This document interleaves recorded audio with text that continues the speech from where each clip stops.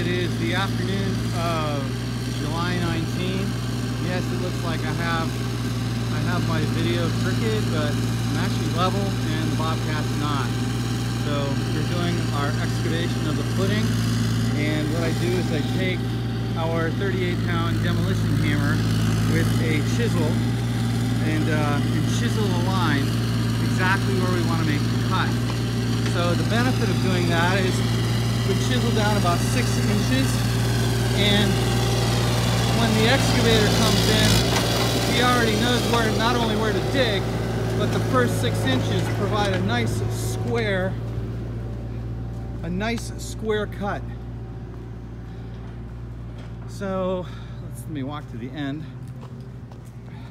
It's amazing how much spoilage that is the extra material you get when you dig a trench. So I got a lot of dirt to deal with over the next couple of days.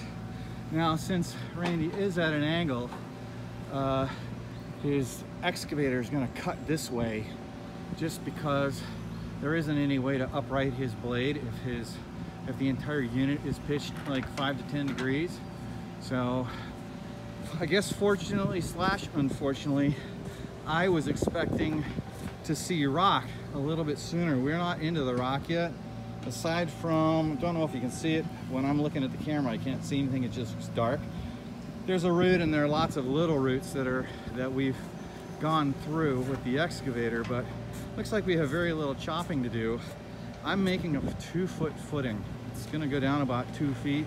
Some of this I'm gonna excavate out a little bit and we may have to dig our footing a little bit deeper there.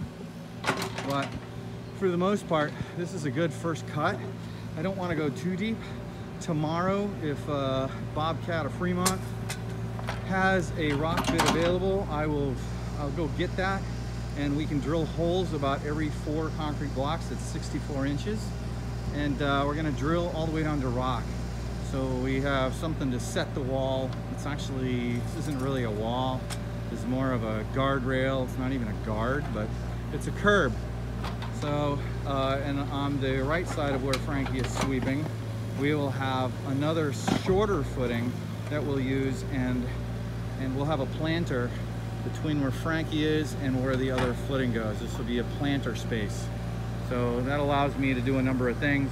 That's something I already discussed and we can talk about later, but um, dirt is coming out of the ground. What's the guy in the hole for? He makes sure that uh, the, the excavator gets everything removed. He also cleans off the left-hand side uh, and the right hand side as uh, the excavator is digging. It's, uh, it's it, when we first get started, there's as much dirt on the sides as there is in the hole to come out. But now that he's actually gotten going, I don't know that there's that much to do, but Frankie's just making sure that everything is square before Randy gets too far ahead. That's it.